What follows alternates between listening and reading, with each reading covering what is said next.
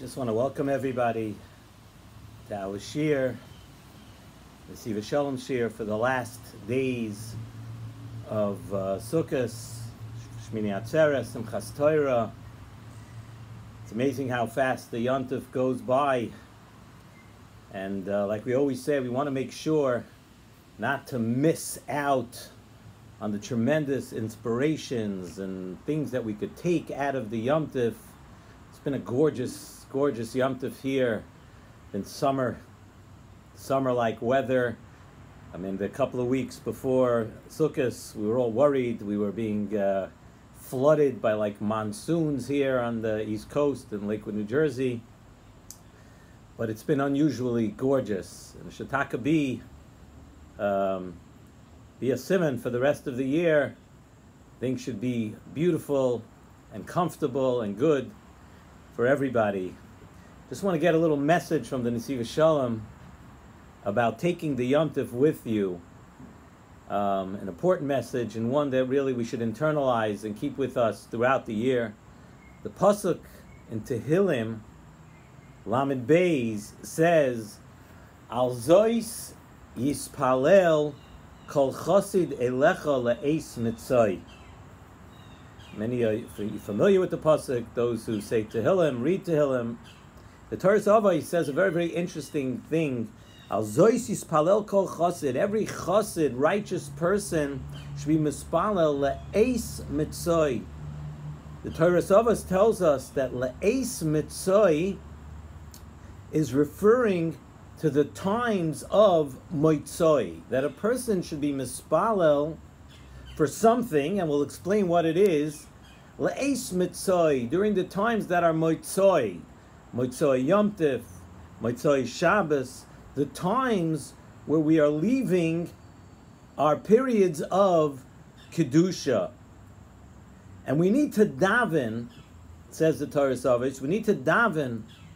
What are we being mispalel for, right? We, we need to daven and we need to hope that we remain holding on to the inspiration and the growth that we have attained over that special period, over that special time, and in our case, over this special Yom Tif. And that's why we have to mamash be mispalel, that we should be able to hold on to those times.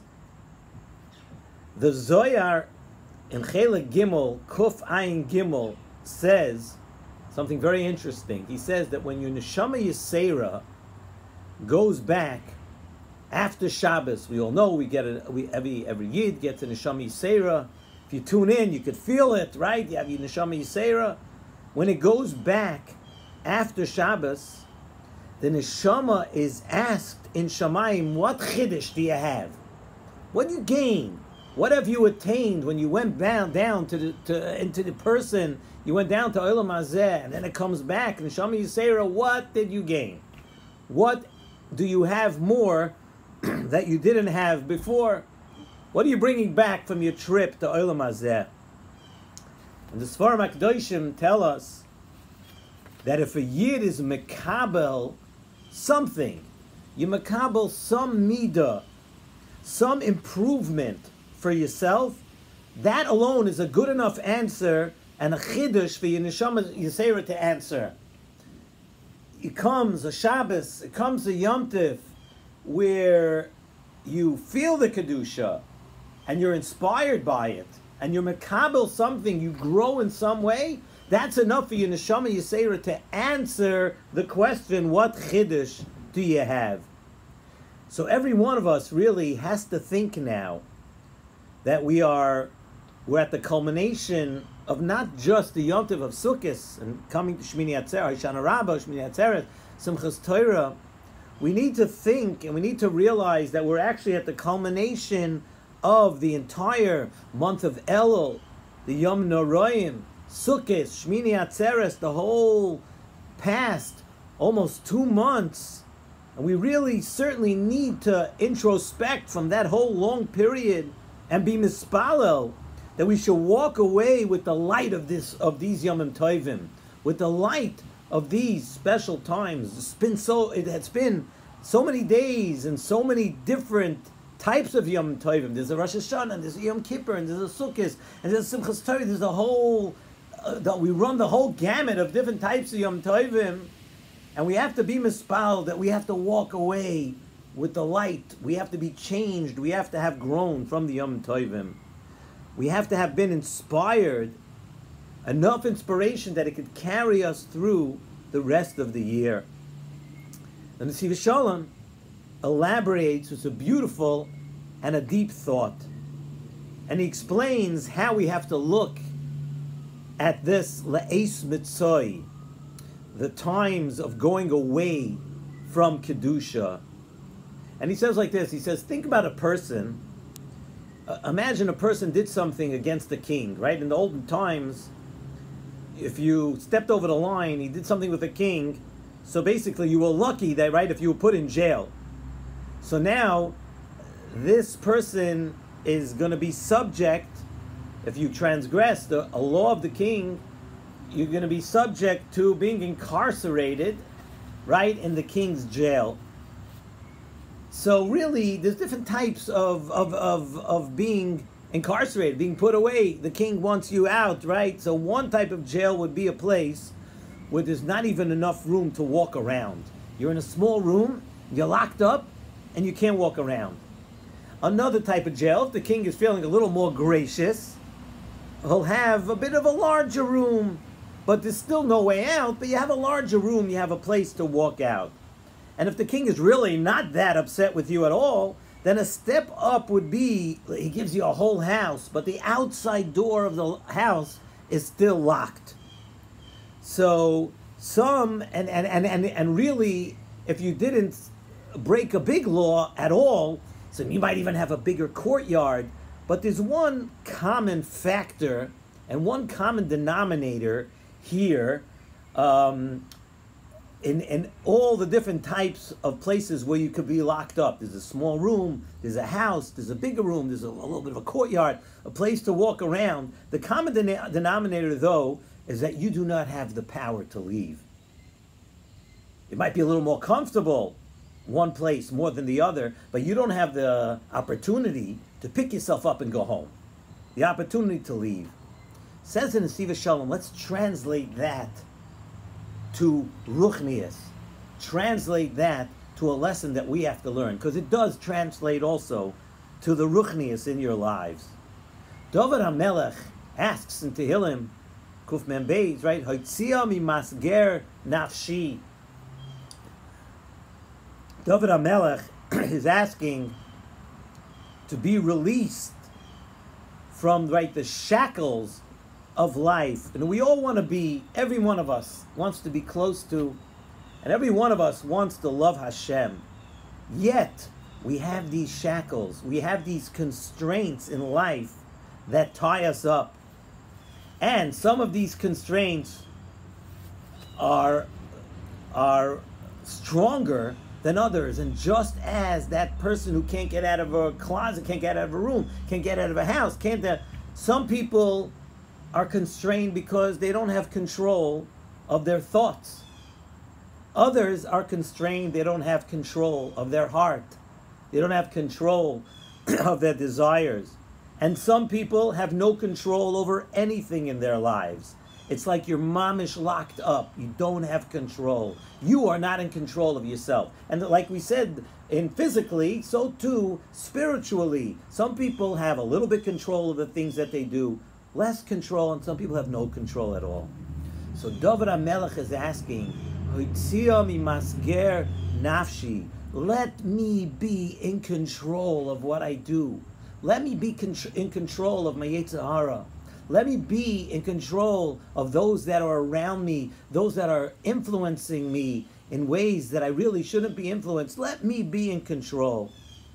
And really, so much so, during the weekdays, we have so many constraints and really excuses, many very good.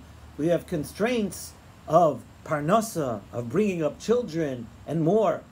But when it comes to Shabbos and Yom Tif, we release ourselves, and you or you should be releasing yourself from your constraints, from your shackles.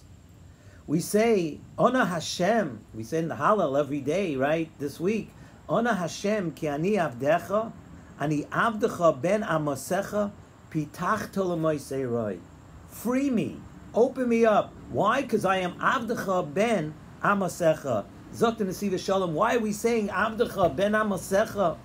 Because if someone is just an Evid from yesterday, he wants to get out, he wants to go home. We have to lock him up. We have to make sure he doesn't go anywhere. However, if we're telling Hakadosh Baruch Hu, Ani Avdecha ben Amosecha, I'm here. My parents were here. We, I want to serve you, Hashem. My parents, my grandparents, my great grandparents, we all wanted to. Ani Avdecha ben Amosecha. I'm an Eved, the son of an Amma. I'm an Eved. I, I, I, I'm, I'm not looking to go anywhere. I've been here my whole life and I've been here for generations. You could open up my shackles. You could let me go because I'm not going to run away. I just want to be free to serve Hashem. I just want to be free to do the things that Hashem wants. You could release my constraints. So after Yontiv of Sukkot, we come to Shmini Atzeres. And we certainly, we are certainly, by the time we get to Shmini Atzeres, we, we can say uh, we are Avdecha ben Amasecha. We've been here, Elul, Rosh Hashanah, Yom Kippur, Sukkot, Cholamoid Sukkot, Hoshana Rabbah. We've done, we've been here the whole, we're not looking to go anywhere. You see Hashem, we're not running away. We keep trying to serve you. Ben. I live, I want to live in the house of a Kaddish Baruch Hu. We want to stay here. We don't want to run. And this is what we daven for on this Le'es Mitzoi. This is what we want. This is what we daven for, that when it comes to Mitzoi Yomtiv, when it comes to Mitzoi Shmini Atzeres, Simchas Torah and Eretz Yisrael, when it comes to the, our separate days, two days of Yontiv here in Golas, and hopefully it's the last Yontiv in Golas, when we come to this, we're mispalel that this le'es mitzvah, when we go back, we go back to our, to our mundane schedule. We don't want to call it always the rat race, but when we go back to the Yemois Hachal, we're asking Hashem to keep us free. Keep us free like we were the past few weeks. Free where our minds are open to tshuva, to serving HaKadosh Baruch Hu, to being in the sukkah, to being besimcha, you know what it is for a person to be besimcha, to come to the sukkah and realize that all the physical luxuries and everything, we put that all aside and we're so much happier. This is what real happiness is. When we come out of the yontif, we say to Hashem, we want to stay that happy. We want to feel happy inside most of all, but we also want to feel happy inside, outside. We want to be, we want to be able to serve Hakadosh Baruch Hu the whole year the way we served Hakadosh Baruch Hu this whole Yom Tov. So al zois is palel kol chosid le'es mitzoi. When it comes to this Motzi Yom Tov, now start thinking about it now. What are you going to lock up? What's your neshama yisera going to answer when they say, "What are you bringing me? What are you bringing me back? How are you different? Are you learning a little more? Are you a little bit of a nicer person? Are you going to do a little more chesed? Are you going to talk less uh, lashon hara? Are you going to be dan people a kaf These are all things that make a person really happy. It doesn't make you happy to talk about other people. It doesn't make you happy to waste your time. We all know that. It frustrates every one of us. Now it came to Yontif. And we attained all those levels. We attained all those goals. Let's be mispalel. And let's also do. Let's lock it up.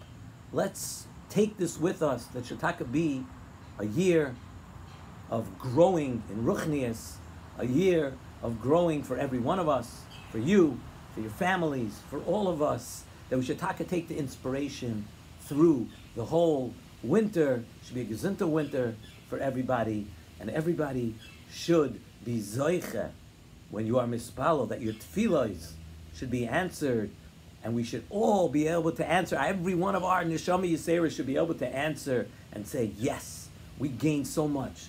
We're different people. I want to wish you all a good Yom Tov, and Amir Hashem will be back with our Nesivos Shalom Shir, beginning Parshas Bereshis next week. A good Yom Tov, Yor.